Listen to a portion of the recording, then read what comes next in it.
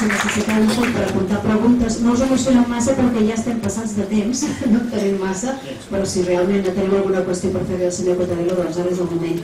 Uh, ho podrem fer breu? Li faig jo les preguntes i respon Messi. Miri, una que... Sí, sí, n'ajuntaré alguna, però més que crec que són totes, que la gent les ha escrit. Una que entronca amb això que estava explicant. Creu que el govern espanyol farà ús de la força? No lo sé, espero que no, pero desde luego es una posibilidad que deben ustedes considerar, teniendo en cuenta que además la tiene graduada. No es lo mismo el ejército que luego decidir la policía. Uh, dos preguntes en una, van pel mateix costat. On són els demòcrates espanyols? Per què no diuen absolutament res? Que no hi ha demòcrates a Espanya i gent intel·ligent. I enllaça amb la pregunta de què grado de apoyo tiene tu opinión política sobre Cataluña en los ambientes políticos universitarios de Madrid.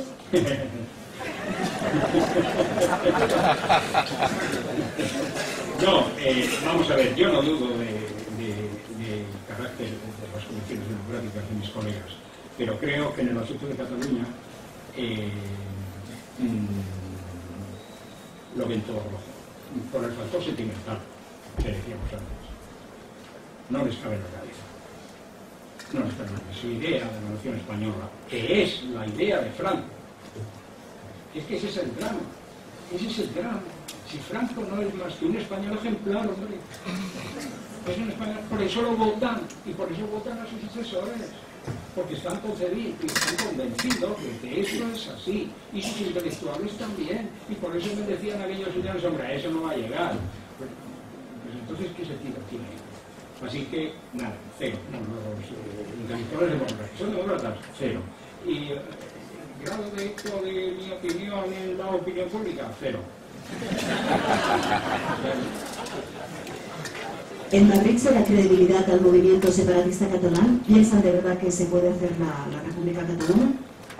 Bueno, depende de qué sectores estemos hablando, de qué segmentos de la, de la, de la opinión. Verá, tengo un dato. Los franquistas son los más convencidos. Lo ven como, como algo inevitable. Los franquistas. Los otros todavía se hacen ilusión. Eh, sí, no, es así. Todavía dicen que, bueno, que se puede llegar a un acuerdo, que, bueno, que depende, que tú llegas ofreciendo algo y tal, y tú le dices, me tengo que llegando tarde, pero bueno, pues tú lo ofreces, ofreces, que siempre será mejor ofrecer algo que andar ofertadas. Pero los que más claramente saben que, fíjate, incluso lo que voy a decir, porque lo he oído, lo del País Vasco tendría arreglo, lo de Cataluña. Y esta Otra pregunta parecida a la anterior, ¿por qué no hay ningún intelectual en España que no denuncie el juego sucio que se está haciendo al gobierno, que está haciendo el gobierno con Cataluña? Pues porque es tanta la cantidad de juego sucio que hace el gobierno que no les da tiempo. Y como Cataluña es una cosa de la que en realidad eh, los españoles, incluso los de buena fe, prefieren olvidarse. Porque esta es una... ¿eh? Yo tengo la gana, y lo digo siempre, y la burro al personal diciendo que si lo llevo años diciendo, mira, eh, el único problema real que tiene el Estado español es Cataluña, desde hace años. Pues no quieren verlo. No quieren verlo ¿por qué? porque no, no tienen la solución que ellos querrían. Y es curioso porque antes aprovechado todos estos años para tratar de ligarse a los catalanes en una solución en las que, les, que, que eso era lo bueno, hombre, cuando todavía estábamos a tiempo, y decía, hombre, no, no, no, si os queremos mucho, esto que hacía Cameron, que a los escoceses los dejó temblando. We love you so much. Ah, incapaces todavía hoy de venir aquí a decir algo tan sencillo como, hombre, no lleváis, que os hacemos, que nos hacéis falso. Incapaces. Bueno, vienen cuatro difíciles. Venga. Difíciles, ¿eh? Bien, van de lo mismo todas. ¿Cuál es tu opinión respecto a la evolución del proceso? Otro que dice, y yo pienso que tendremos antes la duda que el referéndum. ¿Y usted?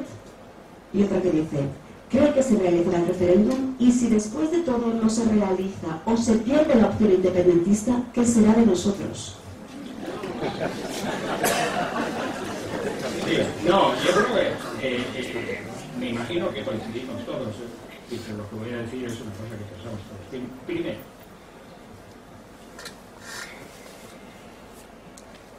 lo que vaya a pasar depende de nosotros. Pero no podemos saberlo. Recuerden ustedes alguna vez Carlos Marx.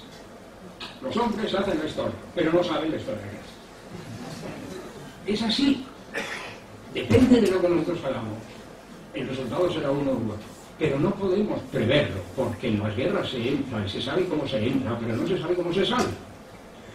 Tienes que tener previstas todas las circunstancias y decir, ah, y entonces si viene este bonito juego de qué es antes, la DUI o el referéndum, es decir, el, la DUI o el RUI, pues depende de lo que convenga en cada momento según las mayorías oportunas. Encerrarse en una predeterminación cuando el otro te puede dar un giro que te obligue a ti a hacerlo es absurdo. Eh, todo es bueno, todo es bueno. ¿Cree usted que cuál será el sentido del proceso? Pues yo pienso que el sentido del proceso tiene que ser cumplir la palabra. Y cumplir la palabra es aquí hay seis meses para hacer un referéndum. ¿Y de qué forma el referéndum? Pues de la que se pueda. De la que se pueda. Porque si ya se hizo uno y todavía estamos oyendo esas cosas tan divertidas de esto es una consulta verbenera sin efectos jurídicos y ya han enviado a tres o cuatro próximamente a la cárcel y no tenía efectos jurídicos. Pues está claro. Sí es que está claro. El otro día oí a Junqueras decir una cosa que me gusta mucho, porque siempre nos gusta que nos diga lo que no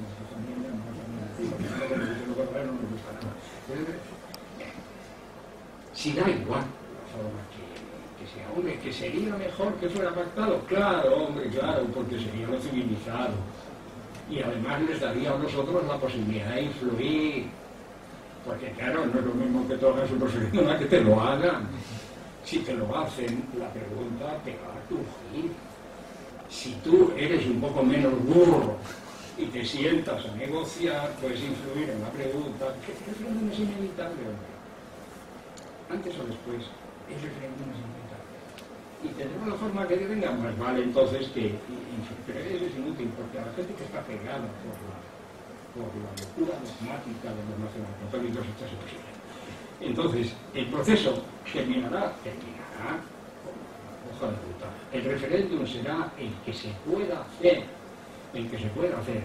Desde luego, sin referéndum de aquí no se puede salir. Claro, dice, ¿y si al final hay que aceptar unas elecciones? Bueno, eh, bueno, a lo mejor está pero me tienen que ahorcar. Me tienen que ahorcar. Eh,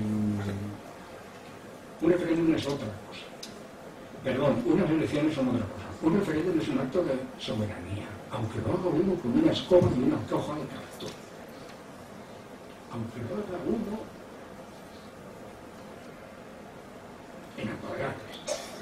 Es un acto de soberanía. El 9 de noviembre fue un acto de soberanía y este vuelve a ser un acto de soberanía. Y a mí lo que se me ocurrió fue decirles a los, comunes que podían aprovechar ese acto de soberanía para pedirle al gobierno español que la comparta. Ya que dice que quieren una soberanía compartida, pues que la comparta y venga a participar en esa, esa, A ver, ¿cómo se explica el enroque de toda la vieja guardia del PSOE apoyando a Susana Díaz? ¿Cómo ve este, esta, esta, este decantarse del PSOE a la derecha?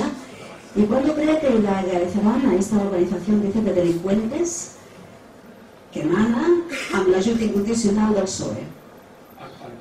Ah, la ayuda incondicional. Sí. Sí, sí. Eh, sí, o sea, o sea, el PSOE, ¿qué sí, le pasa sí, al PSOE? Sí, sí, sí. Bueno, la, la primera pregunta, la razón está. Cataluña, Cataluña, Cataluña. Vamos a ver.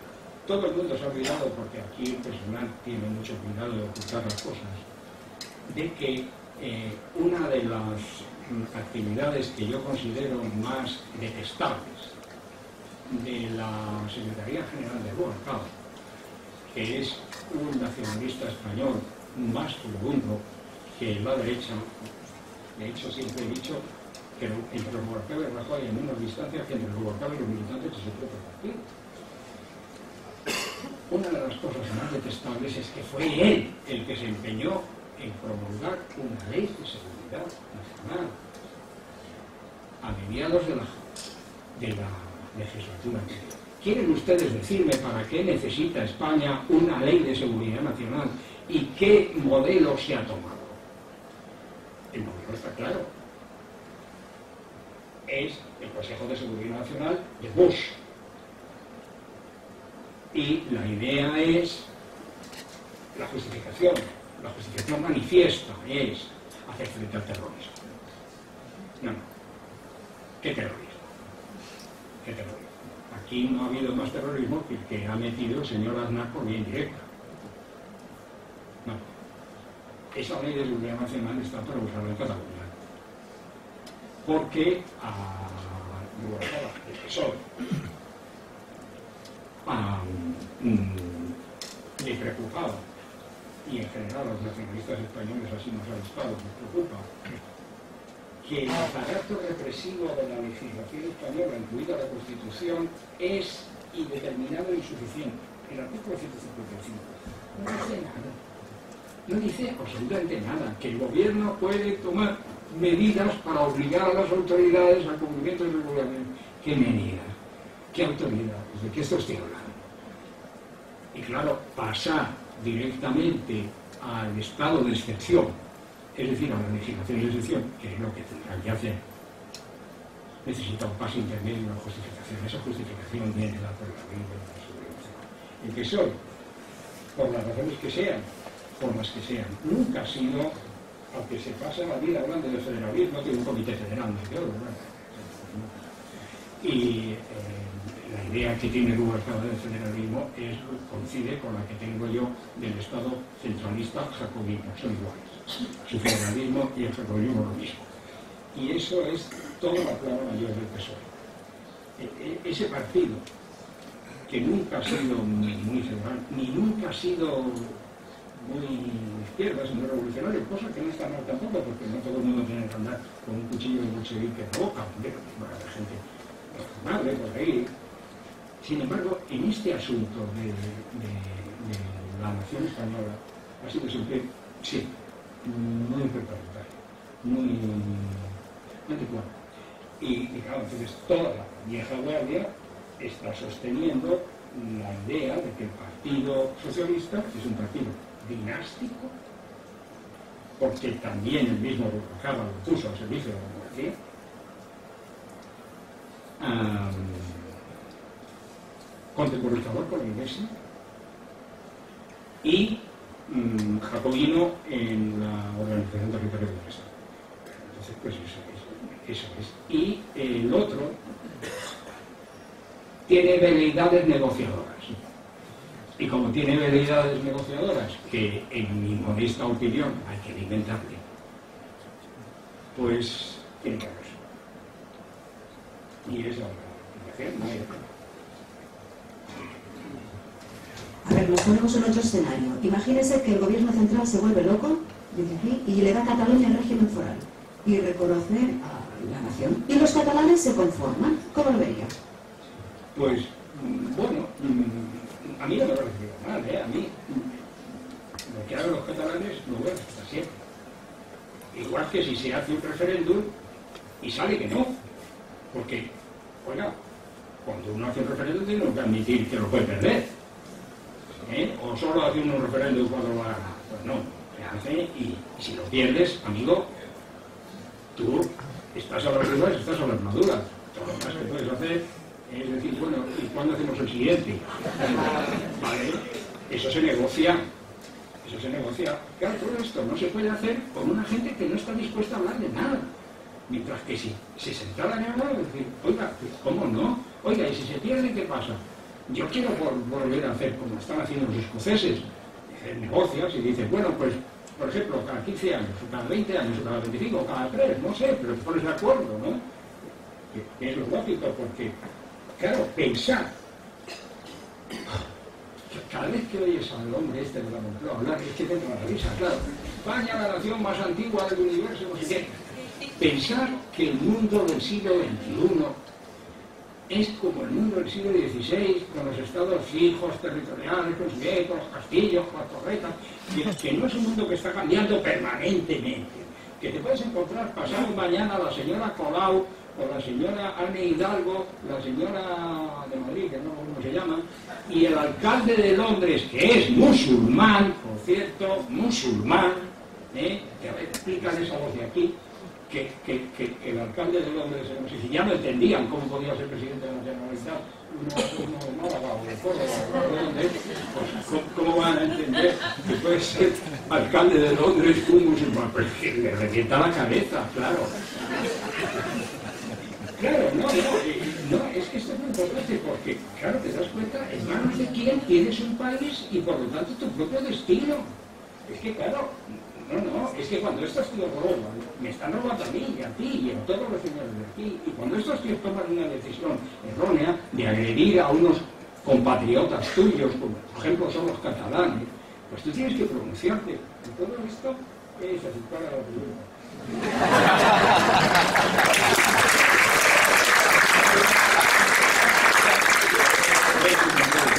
Pero hay más. Venga, quedan cuatro, ¿eh? Podemos conseguirlo. ¿Puede España llegar a renunciar a la Unión Europea para poder hacer lo que quiera con Cataluña? ¿Denunciar? Renunciar. Ah, renunciar. A lo Brexit. A ver, o sea, que España se salga de la Unión Europea. Antes de la en el infierno, hombre. Antes de la en el infierno. Qué va. Que si además es eso. Pero ¿quién se le ocurre La Unión Europea no tiene precedentes. La prueba es que ni siquiera tenía previsto que uno se fuera. ¿Y qué? Pues no pasa nada. Es, es, un, es un órgano relativamente democrático, hecho por gente civilizada, que cuando tiene problemas nuevos les busca solución. No estaba previsto que uno se largara. Bueno, pues se ha largado. Bueno, pues hay que sentarse y negociar y tal, en lugar de ponerse chulo y flamenco. Pues no está previsto que uno de los estados se fraccione.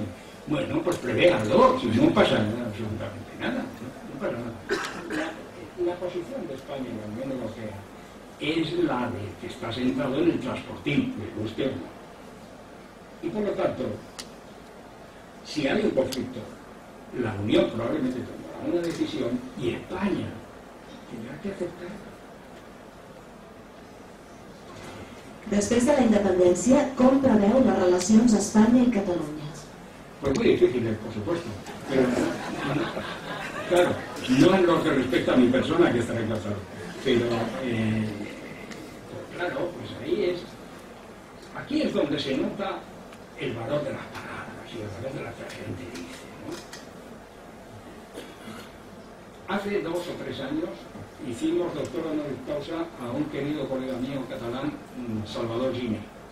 Lo hice yo. Eh, tuve que luchar dos años porque en el interim se habían enterado de la UNED que se había hecho independentista y claro, entonces ya no querían dar el doctorado Pero si no le vas a dar el doctorado no es causa por ser español, sino por ser sabio, que no es lo mismo. Igual, o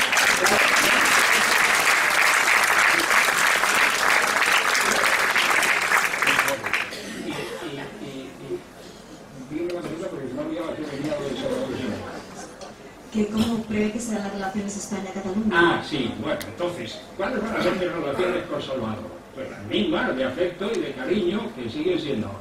¿Qué recomiendo a todos los demás? Pues que sigan siendo. Pero ¿qué tiene que ver? O sea, unos señores toman una decisión para la que están legitimados, porque es su derecho. Y yo lo voy a respetar. Es más, les aseguro a ustedes que ni siquiera voy a pasar la gorra. Mi satisfacción será ver que alguien en este país consigue lo que el resto no ha conseguido, que es quitarse de encima a esta maldición de parásitos ignorantes, oligarcas y neatinas.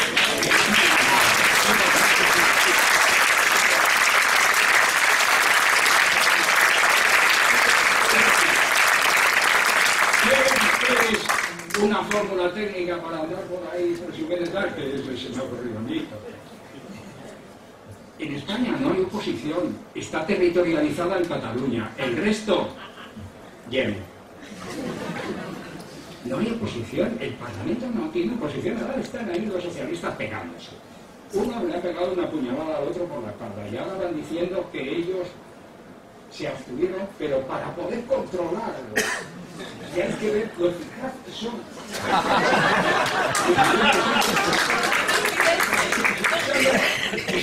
claro, es decir, bueno, ¿qué caso le puedes hacer a la gente en las cosas que dicen?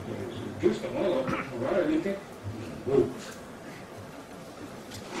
Venga, ¿qué les diría usted a todos los españoles que hace tiempo que vinieron a Cataluña, que nosotros ya los consideramos catalanes? ¿Por qué deberían querer la independencia?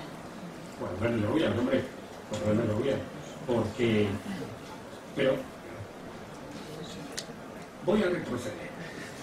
Voy a retroceder. Sí, no, es que más, más interesante y más conveniente y más productivo preguntarles ¿por qué razón puedes querer la independencia?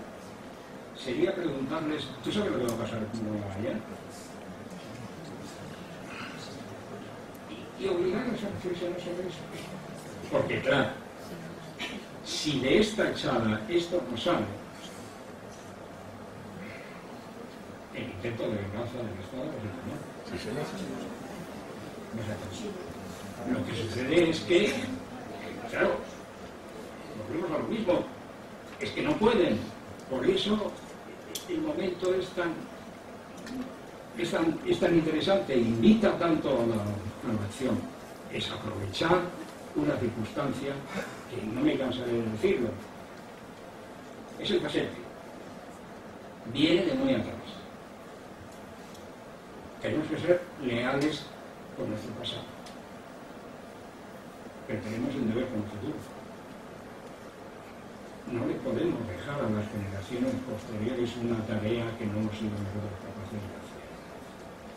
Eso reza con todos los momentos de la vida, todos, de la vida privada, de la vida de cada uno, de la vida, pero sobre todo reza con un movimiento que trata de crear una situación que abra posibilidades a las generaciones futuras en un país que sea suyo, eso es una cosa tan grande que tiene que presidir todas las decisiones que se tomen en este momento. La última. ¿Qué papel está jugando la prensa española, controlada por oligarquías económicas, en el proceso de independencia de Cataluña y qué papel cree que está jugando la prensa internacional? la prensa española, pregúntaselo a Maruenda. cierto, catalán. catalán. Sí, sí, señor. Sí.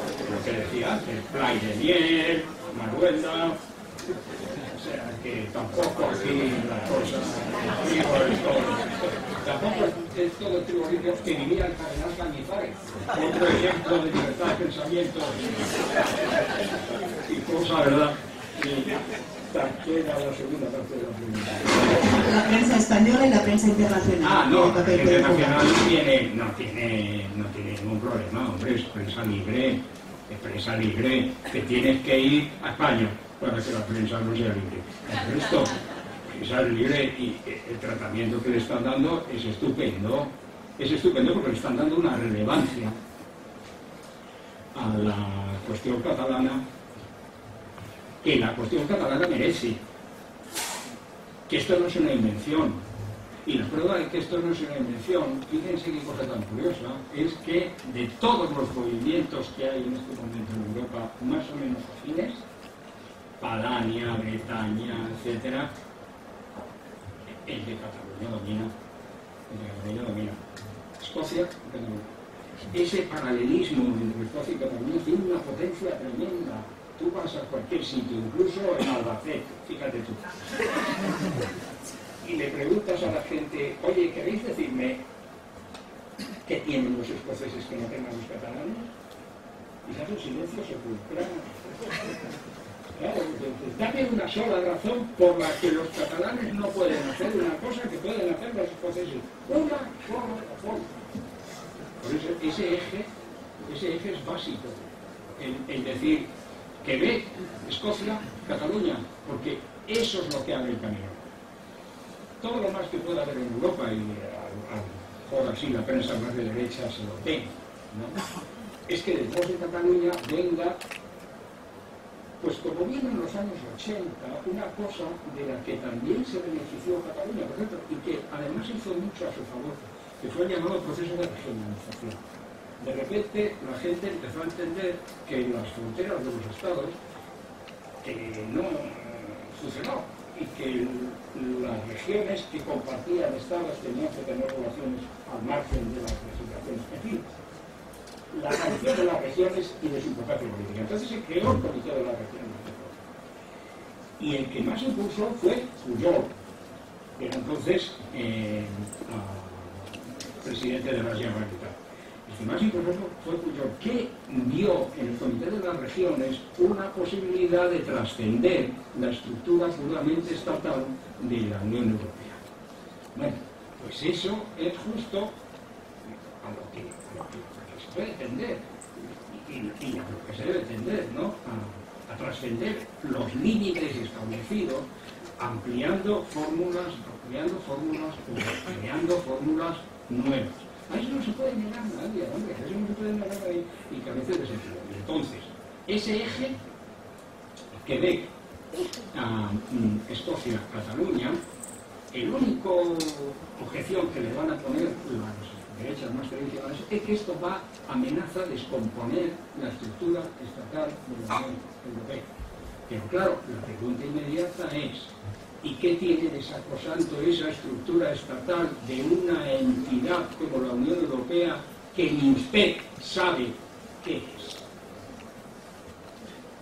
Porque nadie sabe lo que es la Unión Europea. No es un Estado, no es una federación, no es una confederación, no es una organización internacional. ¿Qué es? Pues, pues una chapuza. Claro. O es que es una chapuza que funciona. Bueno, hasta ahora, porque ahora... Porque las chapuzas funcionan, como todos sabemos, con las que hacemos en casa, hombre, claro que sí, porque la alternativa es llamar a un sedicente especialista que te va a desplumar y te lo va a hacer peor. Claro, entonces, las chapuzas funcionan. Y en esa chapuza, el ejemplo catalán puede abrir una perspectiva de reorganización interna. ¿Y qué? Pues para eso estamos, ¿no? Para introducir novedades en beneficio de la gente. En este caso, de los catalanes y subsidiariamente, si se lo merecen, de los españoles.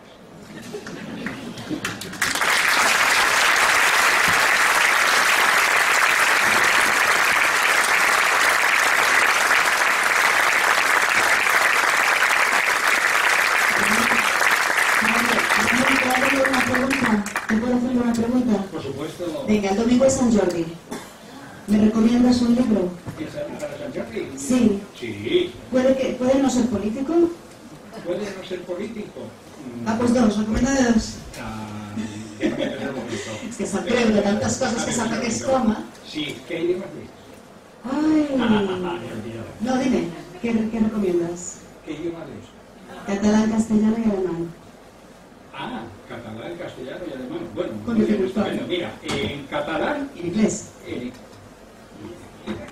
ah, bien. Pues mira, en catalán, La República Posible de Antonio Baños. ¿Te acuerdas de saber? En castellano, La República Catalana.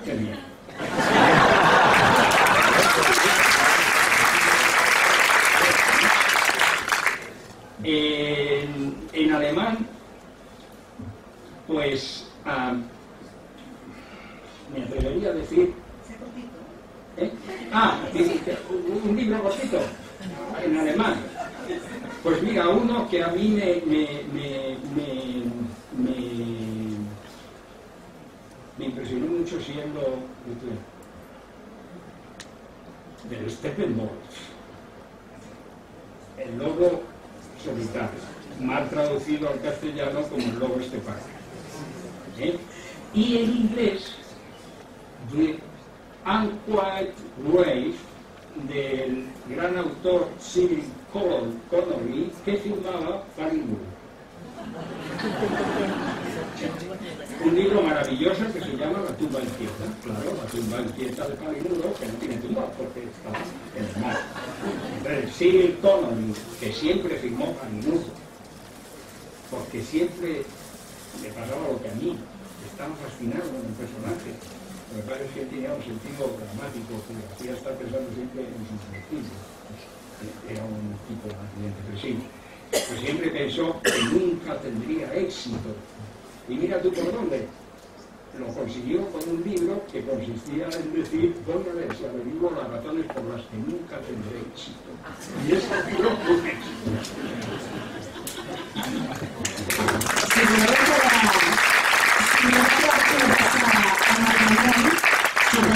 Sobre qualsevol altra cosa, demà estaran signant llibres a la llibreria La Rambla, demà al matí, de dos quarts de dotze a dos quarts d'una. Demà, dos quarts de dotze, dos quarts d'una, a la llibreria La Rambla. Estarà signant llibres a la Rambla.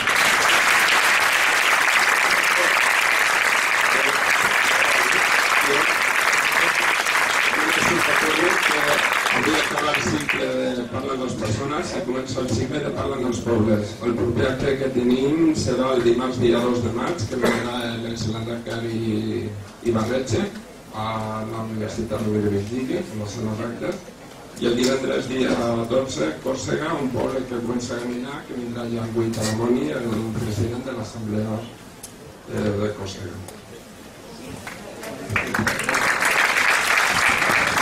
No marxeu encara, perquè tot i que se'ns ha fet una mica tard, però nosaltres volem fer un agraïment en forma de record al senyor Ramon Cotarelo i també a la Llúria. Val? Això és per vosaltres. D'un artista a Marià Casas, de Tarragona, que ja sabeu que és un clàssic, és una litografia de Marià Casas. Eh?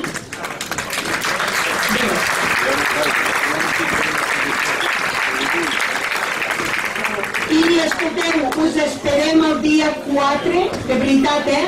Us esperem el dia 4, perquè Tarragona ha d'ensenyar a Catalunya que volem el referèndum. Per tant, us esperem al carrer eh, Pere Martell, a l'auditori de la Diputació. D'acord? Us esperem el dia 4 dos quarts de vuit. Hem d'ensenyar que Tarragona vol el referèndum. Val?